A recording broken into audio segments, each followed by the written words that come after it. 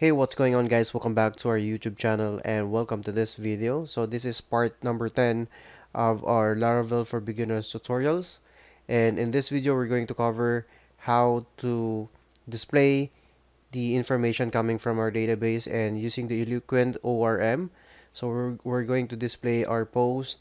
So basically, from the previous tutorial, we have worked with our controller, post controller, and our post model and of course we have uh, laid out the basic layout of our index.blade.php wherein which we already uh, iterated the post coming from our database and also making our title as link so that we could click on that link and then be redirected to another page where in which we can see the full details of that particular post. And also we have added the created at or written on the date and then I have realized that we are we use the class well which is not included in in bootstrap anymore. So we're going to use card uh, for this class and in our app.blade.php file we're going to add the post uh, page. So we have here all the items are all the links from our navigation. So home services and about so we're going to add another link or another item in our navigation bar. So this should be all about the blog which contain all the posts and of course this should be all about post. So let's go back to our browser and try to preview and uh, let's try to refresh the page. So as you can see we now have the home services and of course the blog which is added recently. So click on that. And you can see we have here the post. And I think we can take this further. So instead as you can see this is uh, somewhat ugly for now. So let's try to uh, modify this in our code editor. So let's go back here in our index.blade.php and as you can see we have here the card right? But instead of using h3 I think we're gonna use the UL for now. So this is coming from our uh, Bootstrap integration also. So UL. So inside this, and it should have a class um, list group, and then uh, list group flush flush. There you go. And then of course inside here is the list item which is the title of our post. So it should have a class uh, list group item. And in here we're going to place instead of using the h3 so we're going to or I think we could keep this h3 in this area. So h3 so there you go instead of using h3 only so we're pasting the title and the cre created at date inside a list item. We should reiterate the list item. So let's go back and try to add or remove this and add it here. And so with the closing div and closing L uh, unordered list tag. So there you go and then save that and refresh. So as you can see we have now a slightly different version of our post.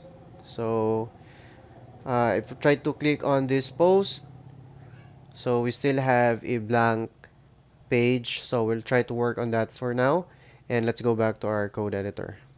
So let's go to our post controller. And as you can see we have here a function that says show that takes in a parameter id so we can just edit this function and try to return a single post. So uh, return and then post. And of course we can use a function here called find and then specifying the ID and let's just save this and try to preview in our page. So refresh. And here you can see that uh, this is the post one and this is the body of the post one. So let's try to check and click on the post 2 so there you go. The id is 2 and the title is post 2 and now let's take this further and try to beautify this instead of just seeing the array of data.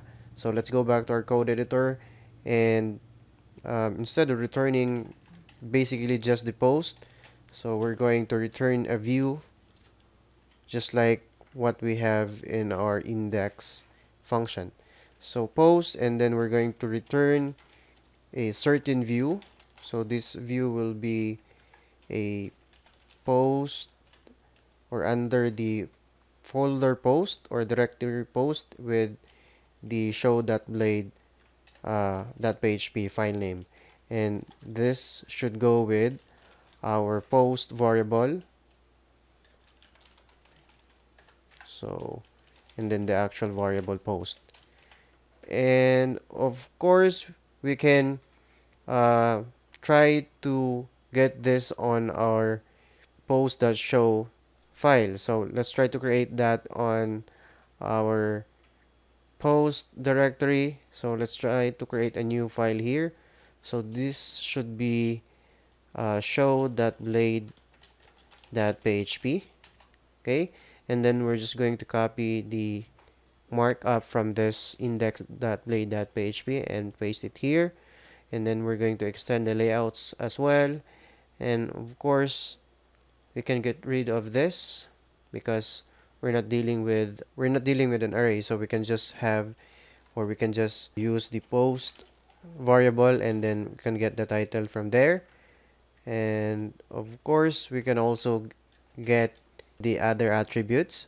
So the post body and of course the created on uh, attribute. So we're going to add it here by placing it inside a small tag.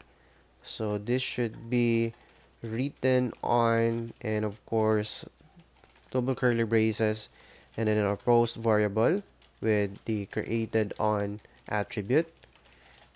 And I think we can add an HR here. So HR horizontal rule and then of course we're going to add the body or the post body of the particular post. So post and then the uh, body of the post. So let's try to save this and uh, preview on our page. So this is the current version. All we see is an array of values coming from a particular post. But if we try to refresh this now we can see the post title and the post body and of course the uh, I think we misspelled instead of using created on I think it is created uh, underscore AET or at and then save that and refresh. So we have here all the information the post title post body and of course the created at uh, date so post 1 and then post 2 and I think we could also add a button or back button here. So let's do that. So above the post title we'll just try to add a back button here. So it should be a link that goes to the post. And of course it should go it should say go back and it should have a class of a button. So btn and then btn default. So save and refresh. So we have here a link that uh, tells us to go back to the post or to the page where all the posts are displayed. So I, there you go. Post 2 and then post 1 and then let's go back so what if you want to sort by maybe title or ID, ascending or descending. So let's try that on our index function of our post controller. So as you can see, we are doing the post and then post model and then double double uh, colon and then all So we can actually sort by uh, title or ID. So whatever we want to sort by. So say for example, let's just comment this one out and try to copy that.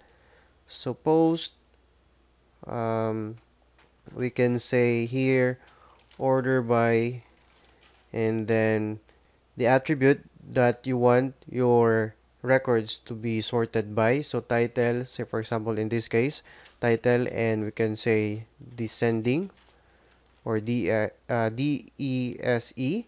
And of course we need to say get and refresh here. So as you can see now the post is the first one to appear here instead of the post one. And if you try to go as uh, sort by ascending sort by title as ascending there you go. Refresh so the post one is the first one to appear here in our post page. And actually you can also uh, use the SQL commands or SQL uh, statement in our controller to get all the posts coming from our database. So all you have to do is use the DB class. So actually I'm going to show you that real quick because it, it is very easy to get all the records coming from our database by using the DB class. So we're just going to use uh, DB and of course in here we're going to comment that one out for now and use this as our variable for a post. So post and then equals the DB and of course the select function and our SQL command which is select all from host and then let's just save this and refresh so we still have all the posts coming from our database so post 1 and post 2 so I think that's all for this particular video and in the next video we're going to discuss forms and how to save data so I hope you learned something from this video and see you in the next video. Thanks.